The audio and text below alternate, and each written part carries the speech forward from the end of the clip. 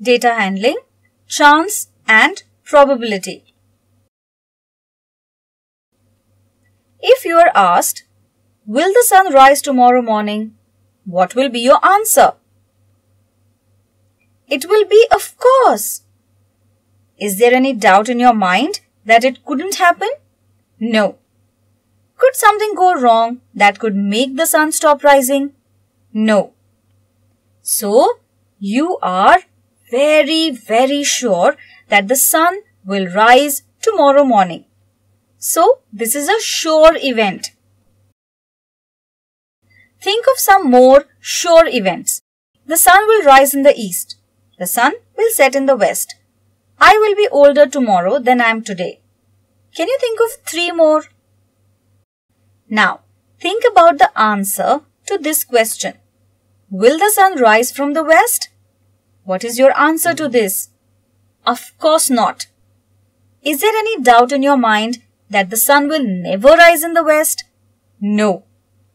You are very sure that it cannot happen. That is an impossible event. Let's think of some more impossible events. A cat giving birth to a puppy. Gravity stops working on the earth. A dice landing with the number 8 on top. Now, think of three more impossible events. If you toss a coin, what are the possible results? You can get heads or you can get tails. So answer this question. If you toss a coin, will you get heads? What is the answer to that? You will say maybe. It means it's possible that it will happen since you can get heads or tails. You are not sure that it will happen. You are not sure that it will not happen you really can't say. So, there is a possibility or a chance that it will happen. Mathematicians use the word probability for this. Events are that you cannot say are certain and cannot say are possible are probable events. Let's think of some. Will tomorrow be a cloudy day? We can't say yes or no to this for sure. Will you get full marks in the math exam this year?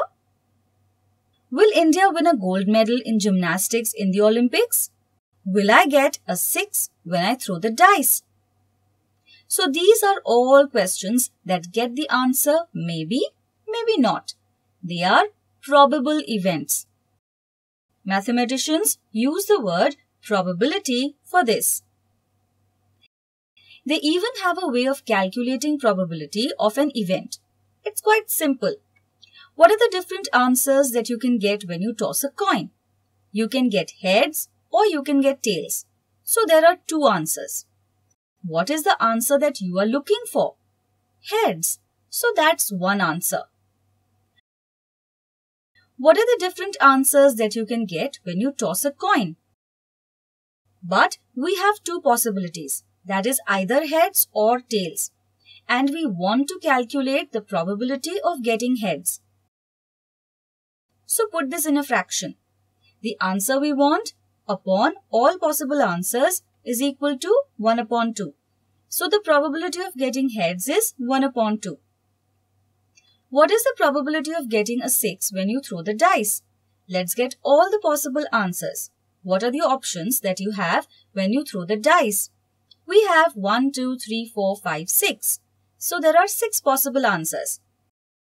What answers are we interested in? Just one, the number 6.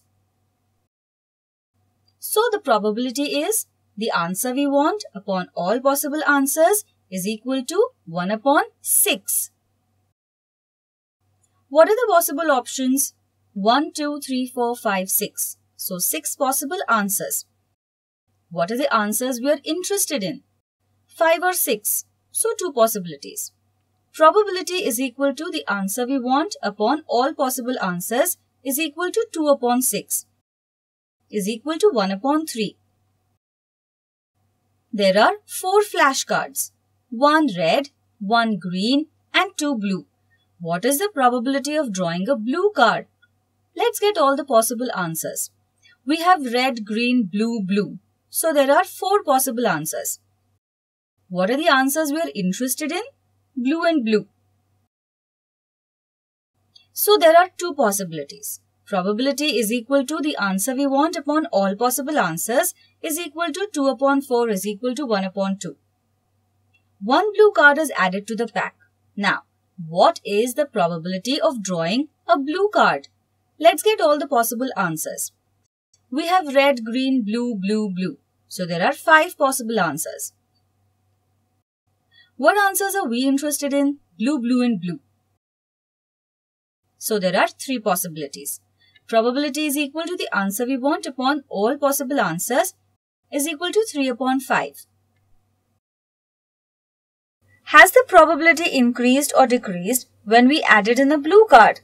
For this, let's compare the two probabilities. We have 1 upon 2 and 3 upon 5. If we equalize denominators, we have 5 upon 10 and 6 upon 10. So we can say that 3 upon 5 is greater.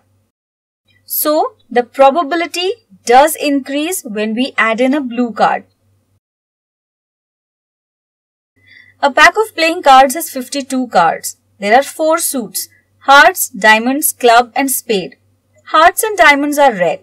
Clubs and spades are black. In each suit there are 10 number cards from ace to 10 and there are 3 picture cards called Jack, King and Queen. What is the probability of drawing the two of diamonds? Let's get all the possible answers. What are the options that you have when you pull a card? There are 52 cards. So there are 52 possible answers. What answers are we interested in? Only the two of diamonds. That's just one card. So there is one answer. So probability is equal to the answer we want upon all possible answers that is equal to 1 upon 52. What is the probability of drawing the diamond picture card?